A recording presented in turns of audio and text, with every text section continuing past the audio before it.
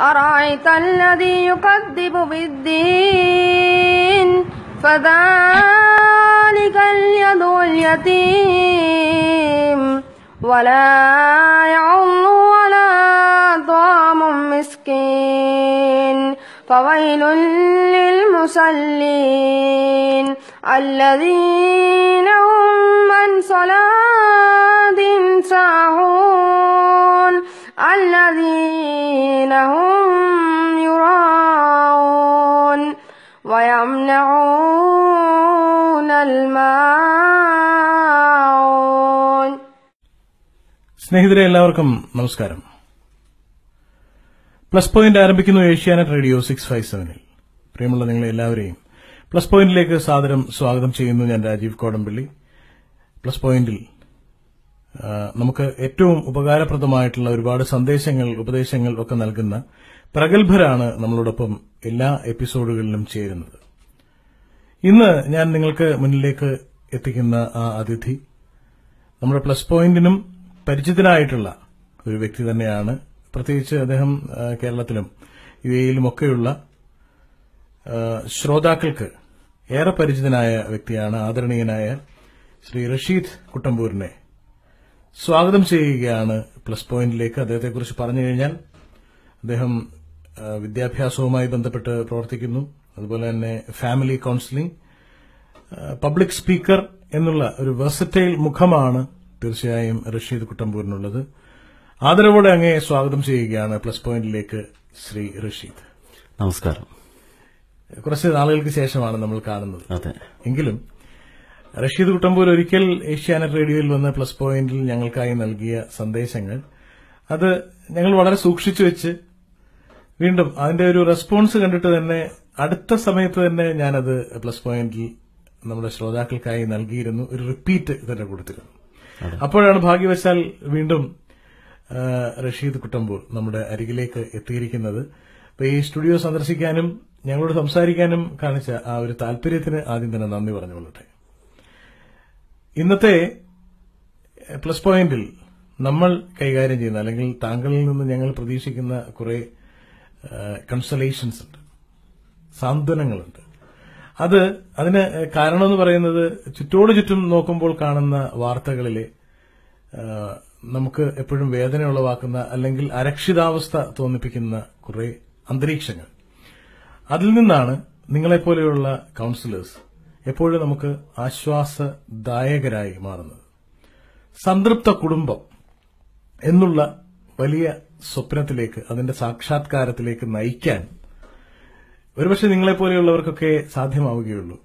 പൊതുവെ കലുഷിതമാണ് ഈ കുടുംബ അന്തരീക്ഷം അല്ലേ? അതെ തീർച്ചയായും. അതിനെക്കുറിച്ച് എന്താണ് അങ്ങേക്ക് പറയാനുള്ളത്? ഒരുപാട് പേര് റഷീദിന്റെ അടുത്തും വരാറുണ്ടല്ലോ. ആദരണീയനായ അങ്ങയുടെ അടുത്തും വരാറുണ്ടല്ലോ.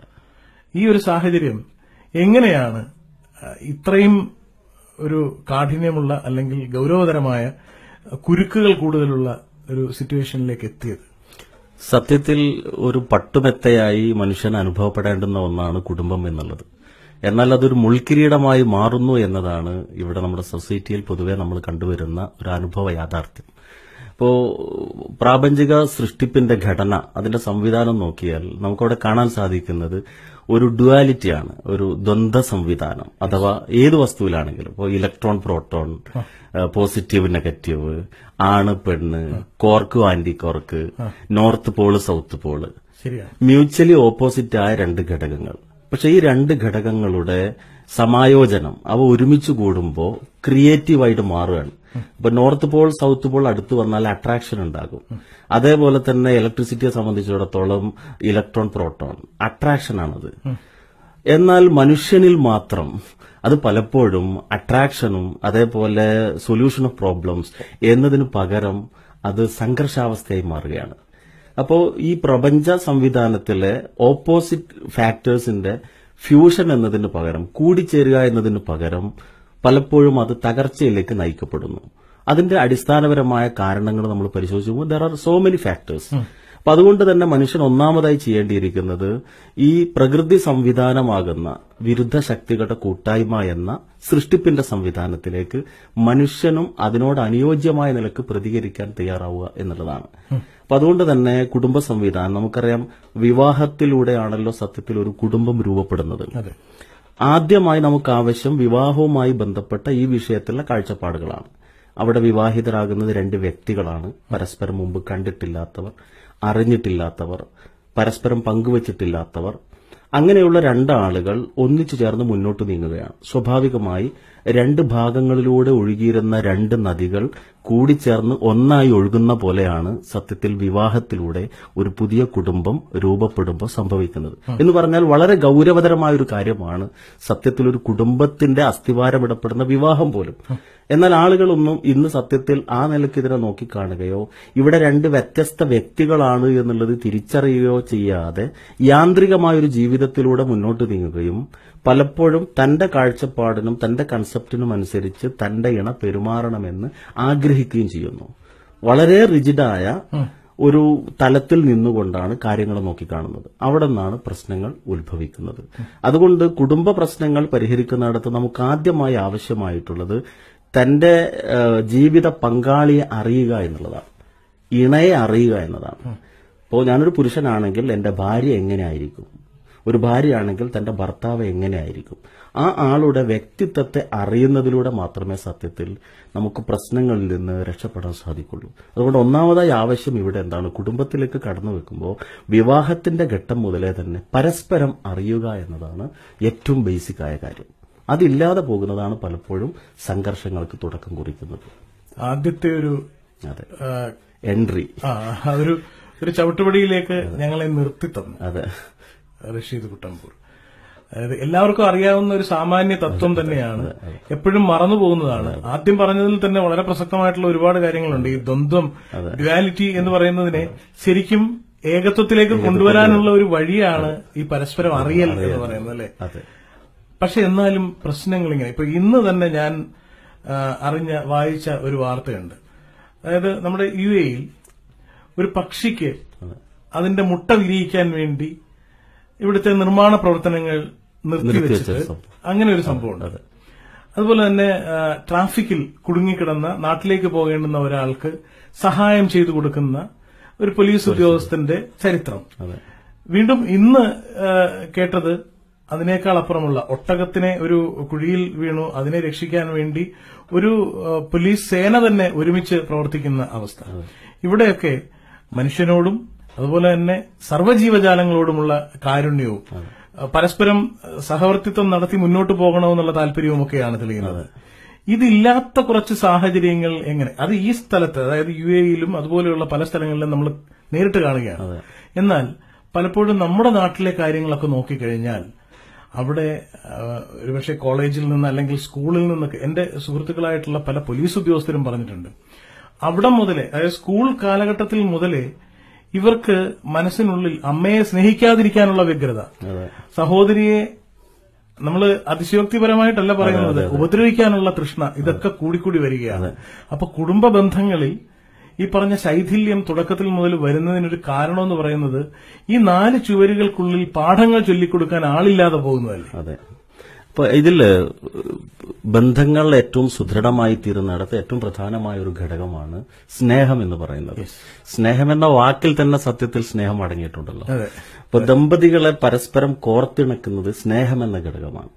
ഞാൻ നേരത്തെ പറഞ്ഞ പോലെ ഒരുപക്ഷെ മുമ്പ് കണ്ടിട്ടില്ലാത്തവരോ പരിചയമില്ലാത്തവരോ ഒന്നായി ചേർന്നാൽ പിന്നീട് വിട്ടു നിൽക്കാൻ കഴിയാത്തത്ര വിധം അഭേദ്യമായ അഭേദ്യമായ ബന്ധം. ആ ബന്ധത്തിൽ ഏറ്റവും മുഴച്ചു നിൽക്കുന്ന രണ്ട് ഘടകങ്ങളുണ്ട്. ഒന്ന് ആരംഭ കാലഘട്ടങ്ങളിൽ നമുക്കറിയാം ദമ്പതികളെ പരസ്പരം കോർത്തിണക്കുന്നത് സ്നേഹമാണ്. ആ സ്നേഹത്തിന്റെ കൂടെ രണ്ടാമതൊരു വികാരം കൂടി തീർച്ചയായും ഉണ്ടാകണം. അത് കാരുണ്യമാണ്. ഇത് രണ്ടും വളരെ പ്രാധാന്യമുള്ള രണ്ട് ഘടകങ്ങളാണ്. ഇപ്പൊ ദാമ്പത്യ ജീവിതത്തിന്റെ ആദ്യ നാളുകൾ ആഘോഷങ്ങളും യാത്രകളും ടൂറുകളും സന്തോഷത്തിന്റെ നാളുകളാണ്. എന്നാൽ അത് കഴിഞ്ഞ് പിന്നീട് മക്കളും പേരമക്കളും ഒക്കെയായി യുവത്വം നഷ്ടപ്പെട്ട് ചുക്കിച്ചുളിവുകൾ തുടങ്ങുന്ന വാർദ്ധക്യത്തിലേക്ക് എത്തുന്ന ഒരു ഘട്ടമുണ്ട്. ഉദാഹരണമായി ഒരു എഴുപത് കഴിഞ്ഞ വൃദ്ധനായ ഒരു ഭർത്താവ് ആശുപത്രി കിടക്കയിൽ കിടക്കുന്ന അയാളുടെ അരികത്ത് അറുപത് കഴിഞ്ഞ വൃദ്ധയായ ഒരു ഭാര്യ പരിചരിച്ചുകൊണ്ട് ഇരിക്കുന്നു. ഈ സ്ത്രീയെ സംബന്ധിച്ചിടത്തോളം തന്റെ ഭർത്താവിൽ ഇനി ആസ്വദിക്കാൻ സൗന്ദര്യത്തിന്റെ ഒരു കണിക പോലും ബാക്കിയുണ്ടാകില്ല. അയാൾ ഇനി സമ്പാദിച്ച് ജീവിതത്തെ ഭാസുരമാക്കാം എന്ന പ്രതീക്ഷയ്ക്ക് അവിടെ സ്ഥാനമില്ല. പക്ഷെ വീണ്ടും ഉറക്കമിളച്ച് ആ ചുണ്ടിൽ വെള്ളം ഒഴിച്ചു കൊടുത്ത് സ്വന്തം കൈകൊണ്ട് ആ ഭർത്താവിന്റെ വിസർജ്യങ്ങൾ വൃത്തിയാക്കാൻ ആ സ്ത്രീയെ പ്രേരിപ്പിക്കുന്ന ഘടകം എന്താ അത് സ്നേഹത്തിനപ്പുറത്ത് കാരുണ്യം എന്ന വികാരമാണ്. അതുകൊണ്ട് തന്നെ കുടുംബം സുഭദ്രമായി തീരാൻ ബന്ധങ്ങൾ സുദൃഢമാകാൻ സ്നേഹവും കാരുണ്യവും രണ്ടും ഒന്നിനൊന്ന് മികച്ചു നിൽക്കുന്ന ഒരു അവസ്ഥയുണ്ടെങ്കിലേ തീർച്ചയായും ഇത് സന്തോഷകരമായി തീരുള്ളൂ അത് കുടുംബാന്തരീക്ഷത്തിലെ വ്യത്യസ്ത ഘടകങ്ങൾ തമ്മിൽ അവരെ സത്യത്തിൽ കോർത്തിണക്കുന്നത് സ്നേഹത്തിന്റെ കൂടെ കാരുണ്യമെന്ന ഈ വികാരം കൂടിയാണ്. ഇത് നഷ്ടപ്പെട്ടു പോകുന്നതാണ് സാർ ഇവിടെ സൂചിപ്പിച്ച പോലെ പലപ്പോഴും നമ്മൾ കാണുന്ന സാമൂഹിക പ്രശ്നങ്ങളിലേക്ക് നയിച്ചുകൊണ്ടേയിരിക്കുന്നത്. ഈ തൊട്ടടുത്ത് കേട്ട ഒരു സിനിമാ ഗാനം അതിൽ ഞാനും നീയും ചേർന്നാൽ പാലും തേനും പോലെ എന്നുണ്ട്. ഈ പാലും തേനുമായി മാറണമെന്നുണ്ടെങ്കിൽ റഷീദ് കുട്ടമ്പൂർ പറഞ്ഞ ആ സംഭവം കൂടി ഉണ്ടാവണം സ്നേഹത്തിന്റെ കൂടെ കരുണാർദ്രമായ മനസ്സ് കൂടി ഉണ്ടാവണം പരസ്പരം. ഞാൻ ഈ അടുത്ത് കണ്ട രംഗം കൂടി ഈ സമയത്ത് പങ്കുവെക്കട്ടെ. തിരക്ക് പിടിച്ച കോഴിക്കോട് നഗരത്തിലൂടെ ഞാൻ നടന്നു നീങ്ങാണ്. നട്ടുച്ച നേരം ഉച്ചവെയിൽ ആ. സമയത്ത് ബസ് സ്റ്റാൻഡിന്റെ എതിർഭാഗത്തുള്ള ഓടയുടെ മുകളിലിട്ടിരിക്കുന്ന സ്ലാബ്. ആ സ്ലാബിന്റെ മുകളിൽ ഒരു നാടോടി കുടുംബം. അവർക്ക് വീടില്ല മറ്റു യാതൊരു സംരക്ഷണ സാഹചര്യങ്ങളുമില്ല. നട്ടുച്ച നേരത്ത് ആ സ്ലാബിന്റെ മുകളിലിരുന്ന് ഒരു കുടുംബം അതിലെ പുരുഷന്റെ കൈ ഒടിഞ്ഞു പോയിട്ടുണ്ട്. അതൊരു തുണിക്കഷ്ണം കൊണ്ട് അയാൾ കഴുത്തിൽ തൂക്കിയിട്ടിരിക്കുന്നു. അയാളുടെ മുമ്പിൽ ഇരുന്നു കൊണ്ട് അയാളുടെ ഭാര്യ ഏതോ ഹോട്ടലിൽ നിന്ന് കിട്ടിയ ഭക്ഷണം സ്വന്തം കൈകൊണ്ട് കുഴച്ച് ഉരുളയാക്കി ഈ കൈ ഒടിഞ്ഞ ഭർത്താവിന്റെ വായിൽ വെച്ചു കൊടുക്കുകയാണ്. ഞാൻ ആ രംഗം ദീർഘനേരം നോക്കി നിന്നു. കോടികൾ കൊണ്ട് നിർമ്മിച്ച ഒരു വീട്ടിലെ ഡൈനിങ് ടേബിളിൽ ഒരുപക്ഷെ നമുക്ക് ഈ രംഗം കാണാൻ കഴിയില്ല. പണമല്ല പ്രധാനം. മറിച്ച് കുടുംബജീവിതത്തിലെ സന്തോഷത്തിന്റെയും സമൃദ്ധിയുടെയും ഏറ്റവും ബേസിക്കായ ഘടകം. ഇവിടെ നമ്മൾ കാണുന്ന സ്വന്തം വീട് പോലും ഇല്ലാത്ത നാടോടി കുടുംബമാണ്. എന്നാൽ ആ ഉച്ചവെയിലിൽ തന്റെ കൈയൊടിഞ്ഞ ഭർത്താവിന്റെ വായിൽ ഭക്ഷണം വെച്ചു കൊടുക്കുന്ന ആ സ്ത്രീ അവിടെയാണ് ഞാൻ നേരത്തെ പറഞ്ഞ ദാമ്പത്യ ജീവിതത്തിലെ സ്നേഹവും കാരുണ്യവും ഒരുമിച്ച് നിൽക്കുകയും ഏറ്റവും പൂത്തുലഞ്ഞു നിൽക്കുന്ന ഒരു രംഗമായി നമ്മളത് കാണുകയും ചെയ്യുന്നത്. റഷീദ് കുട്ടമ്പൂർ എന്തായാലും ഈ പ്ലസ് പോയിന്റിൽ എത്തിയത് വളരെ ധന്യമാണ്. ധന്യമായൊരു സന്ദേശത്തിൽ തന്നെയാണ് നമ്മൾ തുടങ്ങിയിരിക്കുന്നത്. ഇപ്പോൾ അങ്ങ് പറയുന്ന രണ്ട് ദൃശ്യങ്ങൾ രണ്ട് പ്രതീകങ്ങൾ. അത് ആശുപത്രി കിടക്കയിലെ കാര്യം റഷീദ് കുട്ടമ്പൂർ പറഞ്ഞു. അതായത് അറുപതിന് മുകളിലുള്ള ഭാര്യ എഴുപത്തഞ്ചിനൊക്കെ മുകളിലുള്ള ഭർത്താവ്. അവരിൽ ഇനി പരസ്പരം നേടിയെടുക്കാനൊന്നുമില്ല. എന്നാൽ കൊടുക്കാൻ ഏറെ ഉണ്ട് താനും അല്ലെ? പരസ്പരം പങ്കുവയ്ക്കാൻ ഏറെ ഉണ്ട് താനും കക്കാടിന്റെ വരികൾ തന്നെയാണ് ഓർമ്മ വരുന്നത്. ഇത്തിരി കൂടെ നടന്നവ കിന്നാരം ഇത്തിരി ചെന്നവ ഓരാതിരിക്കെ ചവിട്ടടികളിൽ പുളഞ്ഞുൽഭണം ഉയർന്നാടി നിന്നവ. ഇത്തരത്തിലുള്ള അനുഭവങ്ങളെല്ലാം കടന്നു വന്നവരാണ് ഇവർ.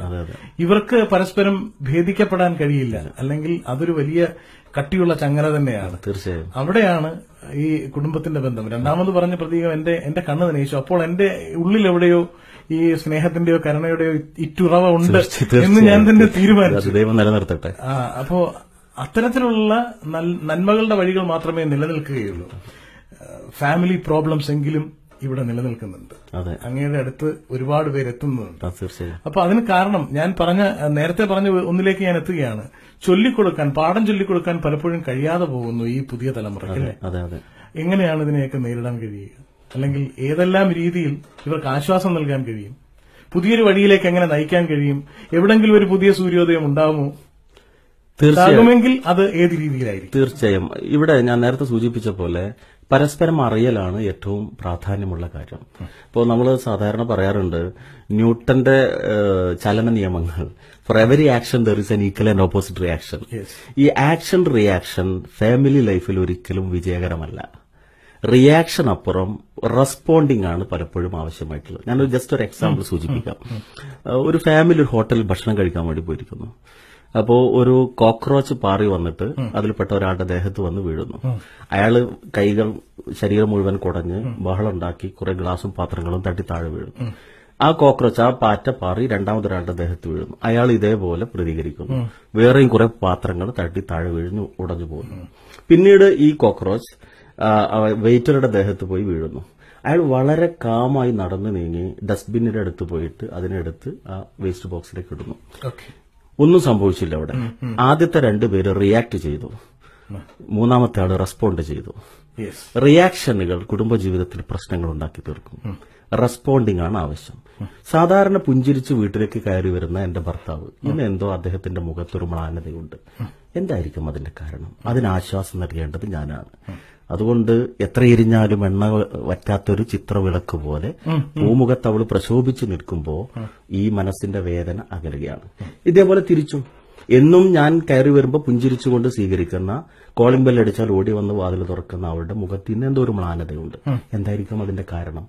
അവിടെ ആ ആക്ഷൻ റിയാക്ഷൻ ഇങ്ങോട്ട് മോശമായ ഒരു അനുഭവമായി മാറുമ്പോൾ അതേപോലെ അങ്ങോട്ട് പ്രതികരിക്കുന്നതിന് പകരം കാരണങ്ങൾ അസസ് ചെയ്യാനും അതിന് മനഃശാസ്ത്രപരമായ ഒരു സൊല്യൂഷൻ കാണാനും തയ്യാറായി തീർന്നാൽ സ്വാഭാവികമായ പ്രശ്നങ്ങൾ ഇല്ലാതായിത്തീരും.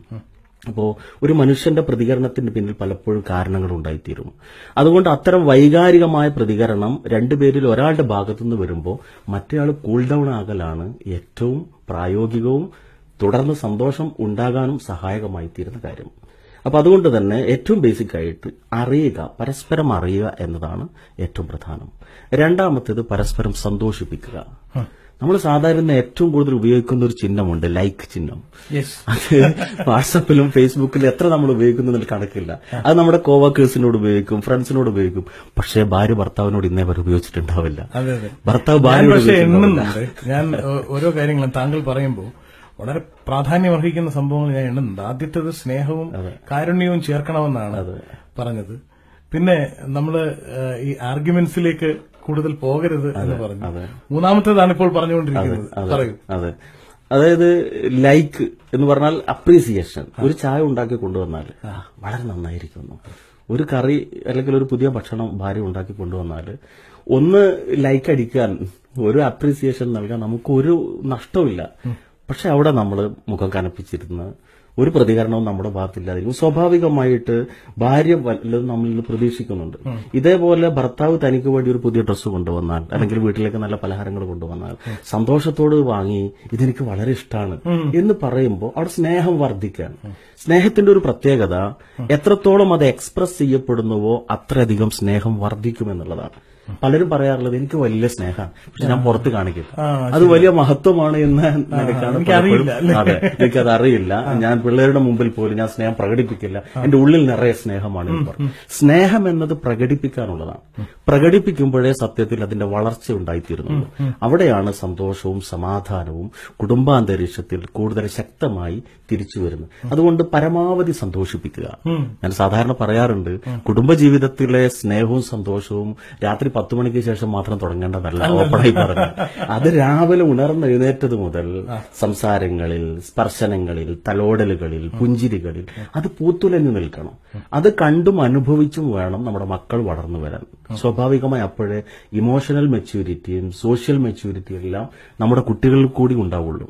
അപ്പൊ അതുകൊണ്ട് തന്നെ സ്നേഹത്തിന്റെ പ്രകടനവും പരസ്പരമുള്ള അംഗീകരിക്കലും പരസ്പരം അഭിവാദ്യങ്ങൾ അർപ്പിക്കലും പരസ്പരം ആശംസിക്കലുമെല്ലാം കുടുംബാന്തരീക്ഷത്തിൽ എത്ര കൂടുന്നുവോ അത്രയധികം ആ സ്നേഹം സമ്പുഷ്ടമായി വളർന്നു വരും.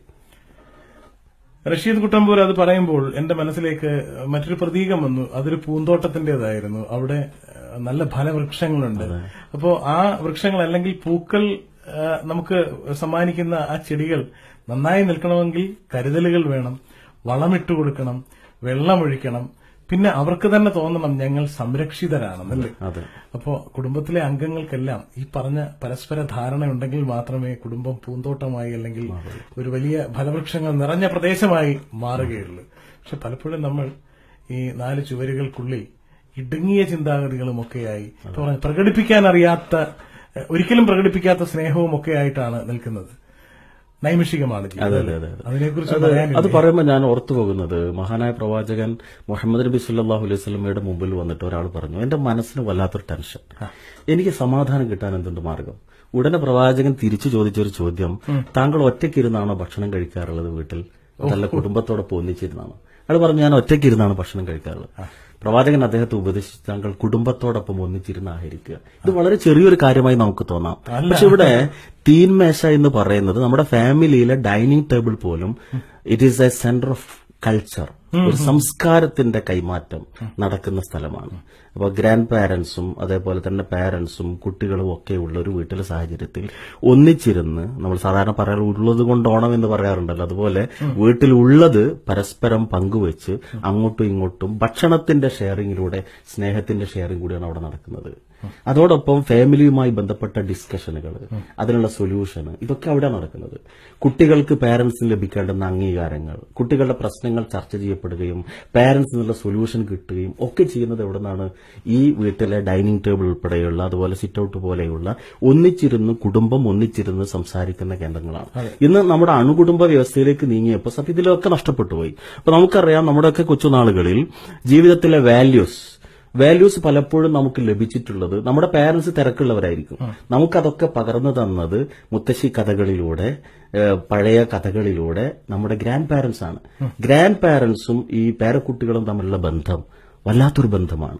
ഈ വളരുന്ന തലമുറയ്ക്ക് ഇവരിലൂടെയാണ് പലപ്പോഴും ജീവിതത്തിൽ അനിവാര്യമായ മൂല്യങ്ങളെക്കുറിച്ചുള്ള പാഠങ്ങൾ ലഭിച്ചു പോന്നിട്ടുള്ളത്. ഇന്നത്തെ പുതിയ തലമുറയ്ക്ക് അത് അന്യമാണ്. ഒന്ന് വൃദ്ധസദനങ്ങൾ വന്നു. സർ അത് തന്നെയാണ് ഞാൻ മനസ്സിൽ ഉദ്ദേശിച്ചത് ഇത് പറഞ്ഞപ്പോൾ എന്റെ മനസ്സിൽ വന്ന ചിന്ത അത് തന്നെയാണ്. ഈ കഴിഞ്ഞ ദിവസങ്ങളിലെല്ലാം നമ്മൾ കണ്ടത്. നമ്മുടെ നാട്ടിൽ ഈ എവിടെയെങ്കിലും ഇറക്കി വിടുന്ന അത്തരത്തിലുള്ള ആളുകളുടെ എണ്ണം കൂടിക്കൂടി വരുന്നു. കൂടി വരുന്നു. അപ്പോൾ പിന്നെ എങ്ങനെ കുഞ്ഞുങ്ങൾക്ക് കുഞ്ഞുങ്ങൾക്ക് മുന്നിൽ അന്യം നിന്ന് പോകുന്ന ജീവി വർഗമാണ് ഈ മുത്തശ്ശനും മുത്തശ്ശിയും അതെ അതെ ഇത് ഷെയറിങ്ങിന് വലിയൊരു പങ്കുണ്ട്. അപ്പോ നമുക്കറിയാം നമ്മുടെ മനസ്സിലൊരു പ്രയാസം ഉണ്ടെങ്കിൽ നമുക്കത് മറ്റൊരാളോട് പങ്കുവെക്കുമ്പോൾ വലിയൊരു ആശ്വാസം ലഭിക്കുകയാണ്. ദൈവം തമ്പുരാൻ മനുഷ്യ ജീവിതത്തിൽ സന്തോഷം ഉണ്ടാക്കാൻ വേണ്ടി വെച്ചൊരു സംവിധാനമാണ് കുടുംബം എന്നത്. ഷെയറിങ്ങിലൂടെ സന്തോഷം കണ്ടെത്തുകയാണ്. അപ്പൊ നമ്മൾ സാധാരണ പ്രത്യേകിച്ച് പ്രവാസികൾ ഭാര്യയും ഭർത്താവും മാത്രമുള്ള ഒരു ഇടുങ്ങിയ ലോകത്ത് ജീവിക്കുമ്പോൾ ഭാര്യ ഒരു രോഗം വന്ന് കരഞ്ഞുകൊണ്ടിരിക്കുകയാണ്. ഞാൻ ഒറ്റക്കല്ല ഇവിടെ ഉള്ളൂ ഇത് കാണാൻ എന്റെ അച്ഛനില്ല അമ്മയില്ല എന്ന് പറയുമ്പോൾ സ്നേഹമുള്ള ഭർത്താവ് എന്ത് പറയും? നിനക്ക് ഞാൻ പോരെ പൊന്നെ നിനക്ക് ഞാനില്ലേ എന്ന് ചോദിക്കും. ആ ചോദ്യം ഇനി മരുന്നൊന്നും കിട്ടിയില്ലെങ്കിൽ പോലും ആ ചോദ്യം തന്നെ രോഗം ഒരുപക്ഷെ പകുതി മാറ്റി കഴിഞ്ഞിട്ടുണ്ടാകും. ഊന്നുവടികളായി മാറും. അപ്പൊ ഇവിടെ പങ്കുവെക്കലിലൂടെയാണ് കുടുംബത്തിൽ സന്തോഷത്തിന്റെ ആധിക്യം സത്യത്തിൽ ഉണ്ടാകുന്നത് ഇന്നത്തെ ഏറ്റവും വലിയ നഷ്ടം ഈ പങ്കുവെക്കലില്ല എന്നുള്ളതാണ്. ഇപ്പൊ ഒരു ഉദാഹരണമായിട്ട് നമുക്ക് പറഞ്ഞാൽ സോഷ്യൽ മീഡിയകളുടെ അമിതമായ സ്വാധീനം. ഇപ്പൊ മുമ്പൊക്കെ ഒരു വിവാഹ വീട്ടിൽ ചെന്നാൽ എല്ലാവരും സന്തോഷത്തിലാണ്. വിവാഹ വീട്. ഒരു മരണ വീട്ടിൽ ചെന്നാൽ എല്ലാവരും ദുഃഖിതരാണ്. ആ മരണത്തിലുള്ള ദുഃഖം. നമ്മളൊരു വിവാഹ വീട്ടിൽ ഒരാൾ മൂഡ് ഓഫ് ആയി ഇരിക്കുന്ന കണ്ടാൽ നമ്മൾ ചോദിക്കുക എന്താടാ മരിച്ച വീട്ടിൽ ഇരിക്കുന്ന മാതിരി ഇരിക്കുന്നത്? എന്ന് ചോദിക്കും. എന്ന് പറഞ്ഞാൽ എല്ലാ ആളുകളും ഒരേ വികാരത്തിലാണ്. ഇന്ന് ഏറ്റവും വലിയൊരു പ്രത്യേകത നമ്മൾ കാണുന്നത് ഒരു ഇടുങ്ങിയ ചുമരിനുള്ളിൽ വ്യത്യസ്ത വികാരങ്ങൾ ഒരേ സമയത്ത് പക്ഷെ ആർക്കും അറിയില്ല. ഉദാഹരണമായി പറഞ്ഞാൽ അച്ഛനും അമ്മയും മകനും മകളുള്ള ഒരു വീട്. നാലുപേരുടെയും കയ്യിൽ മൊബൈലുണ്ട്. അച്ഛൻ വാട്സപ്പിൽ നോക്കിക്കൊണ്ടിരിക്കുന്നു. അദ്ദേഹം സുഹൃത്ത് അയച്ച ഏതൊരു ഹാസ്യരംഗം കണ്ട് ചിരിച്ചുകൊണ്ട് ആ രംഗം ഇങ്ങനെ ആസ്വദിക്കുകയാണ്. തൊട്ടപ്പുറത്ത് അയാളുടെ ഭാര്യ ഇരിക്കുന്നു. അവരുടെ കയ്യിൽ മൊബൈലുണ്ട്. പ്രിയപ്പെട്ട അടുത്തൊരു ബന്ധു മരിച്ചതും മരണാനന്തര സംസ്കരണത്തിന്റെ ചടങ്ങുകളും അത് കണ്ട് കണ്ണു നിറച്ചുകൊണ്ടിരിക്കുന്നു. അതിനപ്പുറത്ത് മകൻ ഇരിക്കുന്നു. ചെവിയിൽ ഹെഡ്സെറ്റ് കുത്തിവെച്ചിട്ടുണ്ട് അവനൊരു വെസ്റ്റേൺ മ്യൂസിക് എൻജോയ് ചെയ്തുകൊണ്ട് കാലിൽ താളം പിടിച്ചുകൊണ്ടിരിക്കുകയാണ്. അതിന് തൊട്ടപ്പുറത്ത് മകൾ ഇരിക്കുന്നു. അവൾ തന്റെ ഏതൊരു കാമുകനുമായിട്ട് ശൃംഗാരത്തിന്റേതായ നിലക്കുള്ള പരസ്പരം ആശയ കൈമാറ്റം ചെയ്തുകൊണ്ട്. നമുക്ക് ഏതാനും സ്ക്വയർ മീറ്റർ ഏരിയയിൽ വ്യത്യസ്ത വികാരങ്ങൾ പക്ഷെ ആർക്കും പരസ്പരം അറിയില്ല. ആരും പങ്കുവെക്കുന്നില്ല. വീട്ടിന്റെ ഉള്ളറകളിൽ വ്യത്യസ്ത ലോകങ്ങളിൽ കഴിയുന്ന ആളുകളായി മാറുകയാണ്. കുടുംബത്തിന്റെ സമാന സ്വഭാവമുള്ള ഒരു ചിന്ത പോലും ചിന്ത അവിടെ പോലും അവിടെ ഉണ്ടായിത്തീരുന്നില്ല. അവിടെ പ്രശ്നങ്ങൾ ആർക്കെങ്കിലും ഉണ്ടോ? ആ പ്രശ്നം പ്രശ്നമായി അവശേഷിക്കുകയാണ്. അതിന്റെ സൊല്യൂഷൻ കാണാൻ സാധിക്കുന്നില്ല. അമിതമായ സോഷ്യൽ മീഡിയകളുടെ സ്വാധീനം നമ്മുടെ കുടുംബാന്തരീക്ഷത്തെ സത്യത്തിൽ തകർത്തു കളഞ്ഞിരിക്കുകയാണ്. അപ്പോൾ പല കേസുകളും നമ്മളെ മുമ്പിലെത്തുമ്പോൾ പലപ്പോഴും പരാതികളായിട്ട് പറയുന്ന ദമ്പതികളിൽപ്പെട്ട ആളുകൾ പറയുന്നൊരു പരാതി അദ്ദേഹം ജോലി കഴിഞ്ഞ് വീട്ടിലെത്താൻ രാത്രി പതിനൊന്ന് മണിയാകും. രണ്ട് ഫോൺ കയ്യിൽ പിടിച്ചോണ്ട വരിക. വന്നു കഴിഞ്ഞാൽ ഡ്രസ്സ് പോലും മാറ്റി വെക്കാതെ സോഫയിൽ ഇരുന്നിട്ട് ആ ഫോണിൽ കളിച്ചുകൊണ്ടിരിക്കും അങ്ങനെ ഒരു പന്ത്രണ്ട് മണി ഒരു മണിയാവുമ്പോൾ ഉറങ്ങാൻ വേണ്ടി പോകും. അതുകൊണ്ട് ഞങ്ങൾക്കിടയിൽ ഇന്നേ വരെ ഒന്നിന്റെയും പങ്കുവെക്കലുകൾ നടക്കുന്നില്ല. ഈ ജീവിതത്തിൽ എന്താണ് അർത്ഥമുള്ളത് എന്ന നിലക്കാണ് പലപ്പോഴും പരസ്പരം പരാതിപ്പെട്ടുകൊണ്ടേയിരിക്കുന്നത്. അതുപോലെ എനിക്ക് ചോദിക്കാനുള്ള ഒരു സംഗതി. സോഷ്യൽ മീഡിയയെ കുറിച്ച് പറഞ്ഞ് വന്നപ്പോൾ മനസ്സിൽ തോന്നിയതാണ്. അതായത് അപരിചിതർ നമ്മുടെ നമ്മൾ പോലും അറിയാതെ നമ്മുടെ ഉള്ളിലേക്ക് കടന്നു വരുന്ന ഒരു വഴിയായി മാറുന്നില്ലേ സോഷ്യൽ മീഡിയ അതെ തീർച്ചയായും. അതിന്റെ ഫലമായി ഉണ്ടാകുന്ന കുടുംബ പ്രശ്നങ്ങൾ നിരവധിയാണ്. ഇപ്പൊ ഈ കഴിഞ്ഞ ദിവസം എനിക്ക് ഇടപെടേണ്ടി വന്ന ഒരു കുടുംബത്തിൽ ഭാര്യയും ഭർത്താവും പരസ്പര സംശയത്തിൽ. ഇത് വലിയൊരു പ്രശ്നമാണ് സംശയരോഗം രോഗം എത്രത്തോളം എന്നാൽ ഐഫോണിൽ ഇവർ രണ്ടുപേരും ഇവർ തന്റെ എതിർകക്ഷി എവിടെ പോകുന്നു എന്ന് തിരിച്ചറിയാനുള്ള സംവിധാനം സെറ്റ് ചെയ്ത് വെച്ചിട്ടുണ്ട്. അപ്പൊ വീട്ടിലെത്തിക്കഴിഞ്ഞാൽ ഉണ്ടാകുന്ന കാര്യമായ പ്രശ്നം ഇന്ന് വൈകുന്നേരം നാലു മണിക്ക് നിങ്ങൾ ദുബായിൽ ഇന്ന ഹോട്ടലിൽ പോയല്ലോ എന്തായിരുന്നു നിങ്ങൾക്ക് അവിടെ പരിപാടി? എങ്ങനെ ആ കുടുംബത്തിൽ പിന്നീട് സമാധാനം ഉണ്ടായിത്തീരും? അപ്പൊ സംശയത്തിന്റെ പുകമറക്കുള്ളിലാണ് ഇവർ ജീവിച്ചുകൊണ്ടേയിരിക്കുന്നത്. അതുകൊണ്ട് ഏത് കോൾ വന്നാലും അല്ലെങ്കിൽ ഫേസ്ബുക്കും അല്ലെങ്കിൽ വാട്സപ്പും ഇത് പരസ്പരം അങ്ങോട്ടും ഇങ്ങോട്ടും ചെക്ക് ചെയ്യുന്ന സംശയങ്ങളിൽ ജീവിക്കുന്ന ഒരു കോൾ വന്നാൽ പോലും അത് ആരുടേതാണ് എന്ന് പരിശോധിക്കുന്ന അങ്ങനെയുള്ള ഒരു അകന്ന ലോകത്തേക്ക് ആളുകൾ സാർ മാറിക്കഴിഞ്ഞുകൊണ്ടിരിക്കുന്നു പറഞ്ഞത് ചെറിയ കേസായിരിക്കും. ഇതിനേക്കാൾ വലിയ കോംപ്ലിക്കേറ്റഡ് ആയിട്ടുള്ള സംഭവങ്ങളാണ്. നടക്കുന്നത്. അവിടെയല്ലേ ഈ റോൾ ഐഡന്റിഫിക്കേഷൻ അതിന് പ്രസക്തി ഏറുന്നത്? തീർച്ചയായും. ഇവിടെ ഒരു ഒരു കുടുംബത്തെ സംബന്ധിച്ചിടത്തോളം വ്യത്യസ്ത ഘടകങ്ങൾ അവരുടേതായ റോളുകൾ പൂർത്തീകരിക്കുന്ന സന്ദർഭത്തിലാണ് കുടുംബത്തിന്റെ പൂരണം നടക്കുന്നത്. ഇപ്പോ നമ്മൾ സാധാരണ ഈ ബിൽഡിംഗ് ബ്ലോക്സ് ആഡ് ചെയ്തിട്ട് കുട്ടികൾ കളിക്കാറുണ്ടല്ലോ. ഇതേപോലെ തന്നെ കുടുംബത്തിൽ അച്ഛനൊരു റോളുണ്ട് അമ്മയ്ക്കൊരു റോളുണ്ട് മകന് റോളുണ്ട് മകൾക്ക് റോളുണ്ട് അതേപോലെ പാരന്റ്സിന് റോളുണ്ട്. ഇവരുടേത് ഓരോരുത്തരുടെയും റോളുകൾ വ്യത്യസ്തമാണ്. ഒരാളുടേത് മറ്റൊരാൾക്ക് നിർവഹിക്കാൻ സാധിക്കില്ല. ഏതെങ്കിലും ഒന്ന് പ്രശ്നമായി കഴിഞ്ഞാൽ അത് ഇൻകംപ്ലീറ്റ് ആയിട്ട് മാറും. അതുകൊണ്ട് തന്നെ റോളുകൾ കൃത്യമായി തിരിച്ചറിയുകയും അത് പൂർത്തീകരിക്കുകയും ചെയ്യുന്നിടത്താണ് കുടുംബത്തിന്റെ വിജയം ഉണ്ടായിത്തീരുക. തീർച്ചയായും. അച്ഛന്റെ റോൾ അച്ഛൻ നിർവഹിക്കാതിരിക്കുമ്പോൾ അമ്മ കഷ്ടപ്പെടുന്ന ഒരു അവസ്ഥ വരും.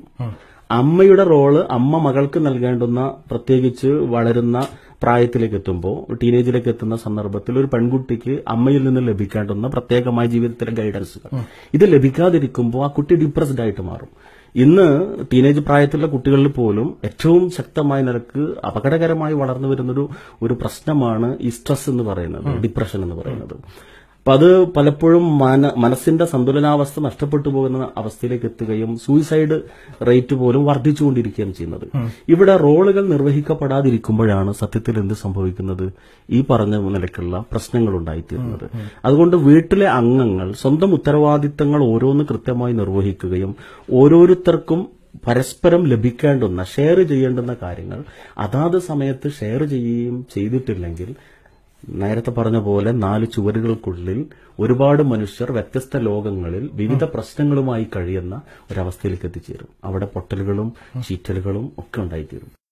ബന്ധങ്ങൾ തമ്മിലുള്ള ഒരു ഒരു ബോണ്ട് ഉണ്ടല്ലോ. അത്. ദൃഢതരമാക്കാൻ വേണ്ടി എന്തൊക്കെയാണ് ചെയ്യേണ്ടത്? ബന്ധങ്ങൾ സുദൃഢമാക്കുന്നിടത്ത് ഏറ്റവും പ്രധാനമായിട്ടുള്ളത് ഞാൻ നേരത്തെ പറഞ്ഞ സ്നേഹത്തിന്റെ പ്രകടനം തന്നെയാണ്. അതിലൊരു പിശുക്കും നമ്മൾ കാണിക്കാൻ പാടില്ല. ഇപ്പൊ കുട്ടികളാണെങ്കിലും അതേപോലെ തന്നെ ദമ്പതികൾക്കിടയിൽ പരസ്പരം ചുംബനങ്ങൾ ആശ്വാസത്തിന്റെ തലോടലുകൾ അംഗീകാരത്തിന്റെ പുറത്തുള്ള തട്ടലുകൾ ഇതൊക്കെ സ്നേഹം വർദ്ധിച്ചു വരാൻ വളരെ സഹായകമായി തീരും. പലപ്പോഴും നമുക്കറിയാം വളരെ മുതിർന്ന ചില മക്കൾ പോലും അച്ഛനെ വിട്ടുപോകാൻ അമ്മയെ വിട്ടുപോകാൻ മാനസികമായി അവർക്ക് സാധിക്കാത്തൊരവസ്ഥ വന്നു ചേരുന്നത് എന്തുകൊണ്ടാണ് ആ സ്നേഹത്തിന്റെ ബോണ്ട് വളരെ ശക്തമായി തീരുന്നതുകൊണ്ടാണ് ഞാൻ ചുംബനത്തെക്കുറിച്ച് തന്നെ ചോദിച്ചോട്ടെ? ചുംബനം എന്ന് പറയുന്നത് അത് വളരെ സാത്വികമായ ദൈവീകമായ ഒരു ഒരു സ്നേഹ അല്ലെങ്കിൽ പ്രേമ പ്രകടനത്തിന്റെ ഭാഗമായിട്ടുള്ളത് അല്ലേ? അതെ. പക്ഷേ നമ്മുടെ നാട്ടിലെ മൂല്യച്യുതി അത് എവിടം വരെ കൊണ്ടുവന്ന് അത് കൊമേഴ്ഷ്യൽ വൽക്കരിക്കപ്പെട്ടു അല്ലേ? അതെ. ഏറ്റവും അപകടമാണത്. കാരണം ഇവിടെ സത്യത്തിൽ ഇന്ന് നമുക്കറിയാം സ്നേഹവും പ്രേമവും കാമവും രണ്ടും രണ്ട് വികാരങ്ങളാണ്. അതെ. പക്ഷേ പലപ്പോഴും ഈ കാമമാണ് പ്രേമമായി അവതരിപ്പിക്കപ്പെടുന്നത്. അത് വലിയൊരു ദുരന്തമാണ്. മനുഷ്യനെ സംബന്ധിച്ചിടത്തോളം സ്നേഹം എന്നത് പ്രേമം എന്നത് ഉദാത്തമായൊരു വികാരമാണ്. അതിന്റെ സ്ഥാനത്ത് പലപ്പോഴും മൃഗീയത കടന്നു വരികയാണ് കാമം മേൽക്കൈ നേടി മേൽക്കൈ നേടിയിരുന്നു. അപ്പോൾ അവിടെ കുടുംബത്തിലും വലിയൊരു പങ്ക് ഈ വിഷയത്തിലുണ്ട്. ഇപ്പൊ ഇന്ന് പത്രകോളങ്ങളിൽ നമ്മൾ വായിച്ചുകൊണ്ടിരിക്കുന്ന വളരെ ദുഃഖകരമായ വാർത്തകൾ. പിതാവിനാൽ ഗർഭിണിയാകുന്ന മകൾ അതേപോലെ സഹോദരനാൽ പീഡിപ്പിക്കപ്പെടുന്ന സഹോദരി. ഇതിന്റെയൊക്കെ കാരണം എന്ന് വെച്ചാൽ അവിടെ മനുഷ്യത്വം നഷ്ടപ്പെട്ടു പോവുകയും മൃഗീയത കടന്നു വരികയും ചെയ്യുന്നു. അതിലെ ഫാക്ടേഴ്സ് ഞാൻ നേരത്തെ പറഞ്ഞ പോലെ മീഡിയകൾക്ക് അവിടെ വലിയ പങ്കുണ്ട്. ജനിച്ച നാൾ മുതലേ കുട്ടി കാണുന്നത് മുഴുവൻ എന്താണ്? ഇത്തരം രംഗങ്ങളാണ്. ജീവിതം തന്നെ സെക്സിന് വേണ്ടി എന്ന് ചിന്തിക്കുന്ന തലത്തിലേക്ക് എന്ത് ചെയ്യുന്നു? ദൃശ്യമാധ്യമങ്ങൾ പലപ്പോഴും നമ്മുടെ പുതിയ തലമുറ എത്തിച്ചു അതെ ഏതൊരു ദൃശ്യമാധ്യമത്തിലും വരുന്ന ആഘോഷിക്കപ്പെടുന്ന സീരിയലുകളിൽ എല്ലാം. മെയിൻ സ്ട്രീമിലുള്ള അതിന്റെ തീം എന്ന് പറയുന്നത് അവിഹിതമാണ്. അവിഹിതം. അവിഹിതമാണ്. അല്ലെ? അവിഹിതത്തിന് മാത്രമേ നിലനിൽപ്പുള്ളൂ എന്ന വിധത്തിലേക്ക് കാര്യങ്ങൾ അതിനെ എത്രയും സസ്റ്റെയിൻ ചെയ്യാൻ കഴിയുമോ? അങ്ങനെ എഴുതുന്ന ആളാണ് ഏറ്റവും നല്ല സീരിയൽ റൈറ്റർ അങ്ങനെ മാറിയിരിക്കുന്നത് അല്ലേ? രണ്ടാമത്തേത് ചില ലിമിറ്റുകളുണ്ട് വീടിന്റെ സാഹചര്യത്തിൽ ഇപ്പോൾ വിശുദ്ധ ഖുർആനിൽ ഒരു വചനത്തിൽ പറയുന്നുണ്ട് മൂന്ന് സന്ദർഭങ്ങളിൽ സ്വന്തം വീട്ടിലെ അംഗങ്ങളാണെങ്കിൽ പോലും പരസ്പരം വീട്ടിലെ റൂമുകളിൽ പ്രവേശിക്കാൻ അനുമതി ചോദിക്കണം. അതിൽ പറഞ്ഞ മൂന്ന് സമയം ഒന്ന് പ്രഭാതത്തിൽ നേരത്തെ പ്രഭാത നമസ്കാരത്തിന് മുമ്പുള്ള സമയം. രണ്ടാമത്തത് ഉച്ചയുറക്കത്തിന്റെ സമയം. മൂന്ന് രാത്രി ഉറങ്ങാൻ പോകുന്ന സമയം. ഈ മൂന്ന് സന്ദർഭങ്ങളിൽ സ്വന്തം വീട്ടിലാണെങ്കിൽ പോലും വീട്ടിലെ അംഗങ്ങൾ പരസ്പര റൂമുകളിൽ പ്രവേശിക്കാൻ അനുമതി ചോദിക്കണമെന്ന ഖുർആാനിന്റെ ഒരു കൽപ്പനയുണ്ട്. ആ കൽപ്പന പറഞ്ഞ കൂട്ടത്തിൽ ഉപയോഗിച്ചൊരു വാക്ക് അത് മൂന്നും നിങ്ങളുടെ ജീവിതത്തിലെ രഹസ്യങ്ങളുടെ സമയമാണ് എന്നാണ്. എന്ന് പറഞ്ഞാൽ വ്യക്തി ജീവിതത്തിലെ സ്വകാര്യതയുടെ നിമിഷങ്ങളുണ്ട് ഓരോ വ്യക്തിക്കും. ആ സ്വകാര്യതകൾ കുടുംബാന്തരീക്ഷത്തിൽ മാനിക്കപ്പെടണം. പക്ഷെ ഇന്ന് നമ്മുടെ വീട്ടിലെ സാഹചര്യത്തിൽ നമുക്കറിയാം. അപ്പോ ഒരു വളരെ മോശപ്പെട്ട ഒരു സീരിയൽ രംഗം അച്ഛനും അമ്മയും കുഞ്ഞുങ്ങളും ഒന്നിച്ച് കാണുന്നതോടുകൂടി ഈ സ്വകാര്യതയുടെ ലോകം വീട്ടിൽ നിന്ന് മാറുകയാണ്. സ്വന്തം മകളെ കാമക്കണ്ണുകളോടുകൂടി അച്ഛൻ നോക്കുന്ന ഒരു അവസ്ഥയിലേക്ക് എത്തുന്നു അവിടെയാണ് പീഡനത്തിന്റെ രംഗങ്ങൾ കടന്നത് എന്ത് വലിയ ക്രാന്തദർശിത്വമാണ് ഖുറാനിലുള്ളത് അല്ലേ തീർച്ചയായിട്ടും. ഒരു എത്ര തലമുറയ്ക്കും പഠിക്കാനുള്ളതെല്ലാം അതിലുണ്ട് എന്ന് പറയുന്നത് എത്ര സത്യമാണ്. ശരിക്കും വിശദീകരിക്കപ്പെടേണ്ടത് തന്നെയാണ്. ഇതിന് വിരുദ്ധമായിട്ടുള്ള പ്രവൃത്തിയാണ് ശരിക്കും നമ്മുടെ ഓരോ മനുഷ്യന്റെ ഭാഗത്തുനിന്ന് ഉണ്ടായിത്തീരുന്നത് അതിന്റെ ദുരന്തങ്ങളാണ് ഇന്ന് സമൂഹത്തിൽ പറഞ്ഞത് വളരെ വലിയൊരു കാര്യമാണ്. ഖുറാനിലുള്ളത് തന്നെ ഈ മൂന്ന് സമയങ്ങളിലെയും ആ ആളിന്റെ എന്താണ് പ്രൈവസി എന്ന് പറയുന്നത് മാനിക്കപ്പെടണം. ഇല്ലെങ്കിൽ അതിന്റെ ദുരന്തങ്ങളാണ് ഇന്ന് നമ്മൾ വീടുകളിൽ നിന്ന് കാണുന്ന പത്രകോളങ്ങളിൽ നിറഞ്ഞു നിൽക്കുന്ന വാർത്തകളിലൂടെ പ്രകടമായി തീരുന്നത്. അതുകൊണ്ട് തന്നെ വളരെ ക്രിയേറ്റീവായിട്ട് ഞാൻ നേരത്തെ പറഞ്ഞ പോലെ അപ്രീസിയേഷൻ ഷെയറിങ് ഇതെല്ലാം ഉണ്ടാകുമ്പോൾ ഇന്ന് നമുക്കറിയാം ഇപ്പോൾ രാത്രി നാട്ടിലൊക്കെ പോകുമ്പോൾ പലപ്പോഴും ദീർഘയാത്രകൾ കഴിഞ്ഞ് പന്ത്രണ്ട് മണിക്ക് ഒരു മണിക്കൊക്കെ യാത്ര ചെയ്യുന്ന സമയത്ത് കാണാം. നാട്ടിൻപുറങ്ങളിൽ പോലും ഓപാലങ്ങൾക്ക് മുകളിലും കടത്തിണ്ണകളിലും ചെറുപ്പക്കാരിങ്ങനെ ഇരിക്കുന്നു പരിചയമുള്ള ആളുകൾ എന്താടാ വീട്ടിൽ പോകാത്തതെന്ന് ചോദിച്ചാൽ വീട്ടിലേക്ക് പോയിട്ട് ഇപ്പം എന്താ കാര്യം? വീട്ടിലേക്ക് പോകാൻ ആളുകൾക്ക് മടി. എന്നാൽ വീടെന്ന് പറഞ്ഞാൽ നമ്മൾ പറയാറുണ്ടല്ലോ ശാന്തിഗേഹം സമാധാനഗേഹം എന്നൊക്കെ പറയുന്നു വീട്ടിൽ ചെന്നാൽ സമാധാനം ലഭിക്കുന്ന ഒരു അവസ്ഥ കുടുംബത്തിലെ അംഗങ്ങൾക്ക് ഉണ്ടാകുമ്പോഴേ വീട്ടിലേക്ക് ചെല്ലാൻ ഇഷ്ടമുണ്ടാകുള്ളൂ ഇന്ന് നേരെ തിരിച്ചാണ് വീട്ടിൽ നിന്ന് പുറത്തു പോകാനാണ് ആളുകൾക്ക് ഇഷ്ടം അത് കുട്ടികൾക്കാണെങ്കിൽ പോലും ഔട്ടിംഗ് അവർ കൂടുതൽ ഇഷ്ടപ്പെടുന്നു. വീട്ടിലിരിക്കുന്നത്. ഇന്ന് എവിടെ പോകുന്നത്? അതെ ഇന്ന് എവിടെയാ പോകുന്നത് ചോദിക്കുന്നു. അപ്പൊ വീട്ടിലേക്ക് വന്നാൽ സന്തോഷം ഉണ്ടാകും വീട്ടിലായിരുന്നാൽ ആനന്ദമാണ്. അച്ഛനും അമ്മയും മക്കളും ഗ്രാൻഡ് പാരന്റ്സും ഒക്കെ ഒന്നിച്ചിരുന്നുള്ള സന്തോഷത്തിന്റെ ധന്യ നിമിഷങ്ങളുടെ കേന്ദ്രമായി വീട് മാറുകയും വീട്ടിലെത്താൻ അംഗങ്ങൾ വ്യഗ്രത കാണിക്കുകയും ചെയ്യുന്ന ഒരു അവസ്ഥയിലേക്ക് സൊസൈറ്റിയുടെ സെറ്റപ്പ് മാറിയെങ്കിലേ ഈ പറഞ്ഞ പ്രശ്നങ്ങൾ പരിഹരിക്കപ്പെടുള്ളൂ. എന്തായാലും ഈ കൗൺസിലിങ്ങിന് വേണ്ടി ഒരുപാട് പേര് റഷീദ് കുട്ടമ്പൂർ സാറിന്റെ അടുത്ത് വരുന്നുണ്ട്. പൊതുവെ ഞാൻ ചോദിക്കുകയാണ് ഒരു കൌൺസിലിങ്ങിന്റെ പരിണിത ഫലമായി കുറച്ചു പേരെങ്കിലും അല്ലെങ്കിൽ ഒരു ഭൂരിഭാഗം പേർക്കെങ്കിലും മാനസാന്തരം ഉണ്ടാവുകയും അവർക്ക് നല്ല ജീവിതം നയിക്കണമെന്ന് തോന്നലുണ്ടാവുകയും ചെയ്യുന്നുണ്ട്? തീർച്ചയായിട്ടും. എനിക്ക് വളരെ സന്തോഷകരമായ അനുഭവങ്ങൾ ആ വിഷയത്തിൽ ഉണ്ടായി തീർന്നിട്ടുണ്ട് ഡൈവോഴ്സിന്റെ വക്കത്തെത്തി പിരിഞ്ഞു പോകാൻ തീരുമാനിക്കുകയും പ്രത്യേകിച്ച് ഗൾഫിൽ നിന്ന് ഇവിടുന്ന് ഒരാൾ പെട്ടിയെടുത്ത് നാട്ടിലേക്ക് പോയി ശേഷം ഇവിടെ വന്ന് സംസാരിച്ച് ഒന്നിച്ചിരുന്ന് ചർച്ച ചെയ്ത് പരസ്പരം അറിഞ്ഞു പരസ്പരമുള്ള പ്രശ്നങ്ങൾ സോൾവ് ചെയ്ത് വളരെ സന്തോഷകരമായി നീങ്ങുന്ന നിരവധി അനുഭവങ്ങൾ ഉണ്ടായി തീർന്നിട്ടുണ്ട്. ഇവിടെ വലിയൊരു പ്രശ്നമുള്ളത് പല കുടുംബ വഴക്കുകൾക്കും കാരണമായി തീരുന്നത് അമിതമായ ഈഗോ ആണ്. എന്റെ അനുഭവത്തിൽ മോർ എഡ്യൂക്കേറ്റഡ് ആയിട്ടുള്ള ആളുകളാണ് ഈ പ്രശ്നം കൂടുതൽ രണ്ടുപേരും ഒരിക്കലും നേരത്തെ പറഞ്ഞ പോലെ താഴ്ന്നു കൊടുക്കാൻ തയ്യാറാവില്ല. അപ്പൊ ചെറിയ ഇഷ്യൂ എനിക്ക് പലരുടെയും മുഖത്ത് നോക്കി പറയേണ്ടി വന്നിട്ടുണ്ട് you have you have very good profile you are very educated but your case is similar to that of L K G students അത്ര നിസ്സാര പ്രശ്നമായിരിക്കും അതെ അത്ര ബാലിശ. എന്നെ പിച്ചി എന്നെ തോണ്ടി എന്നൊക്കെ പറയാറുള്ളത് കൊച്ചുകുട്ടികൾ കൊച്ചുകുട്ടി ഇതേപോലെ അത്ര ചെറിയ പ്രശ്നങ്ങൾ നിന്നായിരിക്കും പക്ഷെ അതെന്ത് ചെയ്യുമെന്ന് വെച്ചാൽ അമിതമായ ഈഗോ കാരണം ഇവർ രണ്ടുപേരും അകലും. പിന്നീട് അടുക്കാൻ ഈഗോ അനുവദിക്കുന്നില്ല. ആ അകലച്ച വർദ്ധിച്ചു വർദ്ധിച്ചു വന്നിട്ട് ഏറ്റവും ദുഃഖകരമായ ഡൈവോഴ്സിന്റെ വക്കത്തേക്ക് വരെ എത്തിച്ചേരുന്നു. എന്നാൽ മിണ്ടാതിരിക്കുന്ന അല്ലെങ്കിൽ മുഖം കനപ്പിച്ചിരിക്കുന്ന തന്റെ ഇണയോട് ഒന്ന് പോയി പുഞ്ചിരിച്ചാൽ തീരാവുന്ന പ്രശ്നം ഉണ്ടാവുള്ളൂ അതാണ് ഞാൻ മനസ്സിൽ ഹിജാമ. അതെ. എജാമയിൽ ഈ ദുഷിച്ച രക്തമാണല്ലോ അതെ അതെ പുറത്ത് കളയുന്നത് അതുപോലെ എന്തെങ്കിലുമൊക്കെ ടോക്സിൻസ് ഉള്ളിലുള്ളത് എടുത്തു കഴിഞ്ഞാൽ ഇതങ്ങ് രക്ഷപ്പെടുമായിരിക്കും അത്രേ ഉള്ളൂ. വളരെ ചെറുതായിരിക്കും. വളരെ നിസ്സാരമായിരിക്കും. പക്ഷെ അത് നമ്മൾ ഐഡന്റിഫൈ ചെയ്യണം. അതെടുത്ത് പുറത്തു കളഞ്ഞാൽ പിന്നീട് നമുക്ക് അസൂയ തോന്നും. ഇവരായിരുന്നു ആ ഫൈറ്റ് നടത്തിയിരുന്നു അത്രയും നന്നായി അത്രയും നന്നായി ജീവിക്കുന്ന അവസ്ഥ വരും. അപ്പൊ ഇത് അറിയലും ഇത്തരം സന്ദർഭങ്ങൾ വരുമ്പോ ഏറ്റവും പ്രധാനമായി ശ്രദ്ധിക്കപ്പെടേണ്ടുന്ന ഒരു കാര്യം മൂന്നാമത്തെ ഒരു കക്ഷി ആ വിഷയത്തിൽ ഇടപെടണം. അതില്ലാതെ പോകുന്നു.